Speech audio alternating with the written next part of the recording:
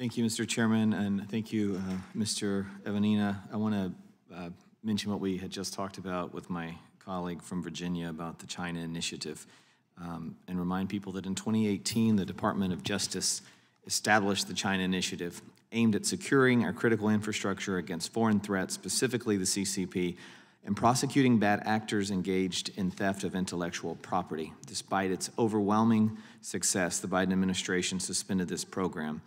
And I wanted to point out that yesterday I introduced a bill to reestablish this program and counter the CCP's economic warfare and corporate espionage. Would you consider the CCP initiative started under President Trump a success?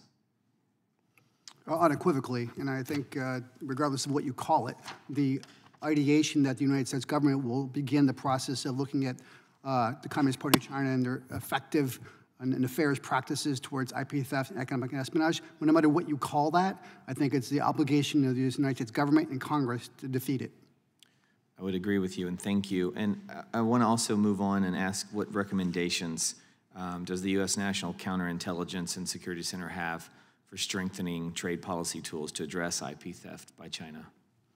Well, at the time, uh, sir, and I left in 2021, I think uh, robust education is the beginning of it all. And I, and I would, I would proffer that uh, members uh, of this subcommittee and members of other committees and go back to their home districts and have dialogues with their, their governors and their economic development corporations and their, their chambers of commerce to identify to show the tools and techniques of the communist party's investment in their localities and what that economic espionage and intellectual property theft looks like early before it happens because once the fbi comes to town and investigates the data and intelligence and intellectual property is already gone and I think that's where we have to get left of boom and start to educate our business leaders and local investment operators on how to protect it and see it first.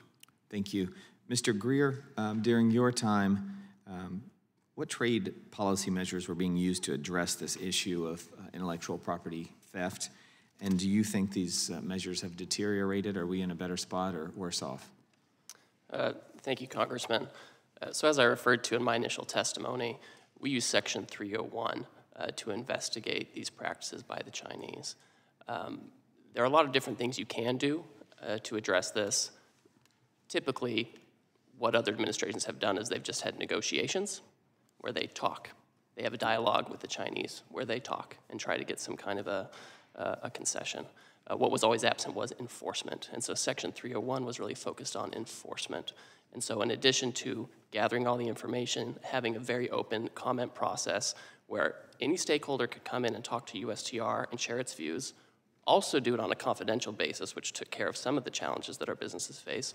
We were able to understand, quantify the problem, bring it to the Chinese, tell them about it, give them an opportunity to remedy it, and then when they didn't, take an enforcement step. We chose to use tariffs. We chose to put tariffs on IP intensive items. Um, is it effective? I want to use the example of electric vehicles. At the time, we were not importing many electrical vehicles from China. It is an item, it is a sector where China wanted to steal technology, where they did, where they forced JVs. We put a 25% tariff on electric vehicles. Today, there is news out there that China has become a major exporter of electrical vehicles, which they weren't at the time, but they are not to the United States. Imports of electric vehicles to the United States, only 3.6% of those imports are from China. It's because of that 25% tariff. There are other things you can do with Section 301. It doesn't have to be a tariff. You can limit services, you can limit, limit other kinds of access to the US market. There are tools there that we can use to enforce, and we need to have the political will to do it. Thank you. I yield back, Mr. Chairman.